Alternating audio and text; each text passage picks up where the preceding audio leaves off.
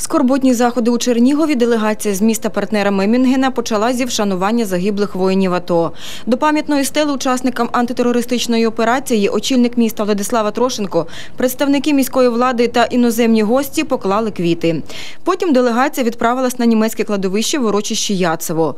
Тут поховано 278 солдат німецької армії, які потрапили до полону. Серед них 28 осіб інших національностей, що воювали у складі німецької армії проти радянського союзу у роки Другої світової війни.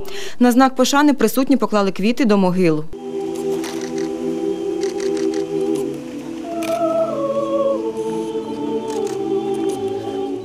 Обербургомістр міста Мемінгена Манфред Шилдер зауважив, що німецький народ добре пам'ятає події Другої світової війни, а також про кількість жертв з обох боків і не пишається цим. Тому вони схиляють голови перед жертвами нещадної війни.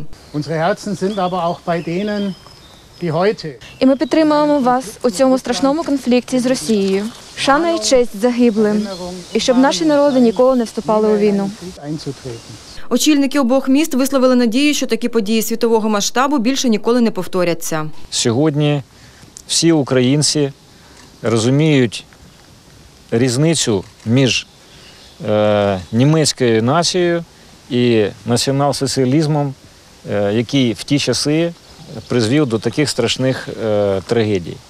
Тому я вважаю, що це є важливим е, для того, щоб ці слова е, саме в день примирення я сказав на могилах німецьких солдат. Також іноземні гості відвідали меморіальний комплекс Криволівщина.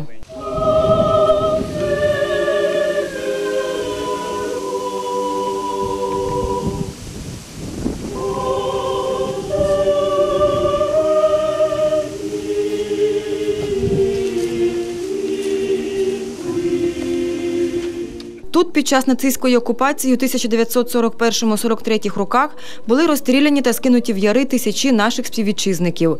Наразі в урочищі Криволівщина знаходиться 11 братських могил.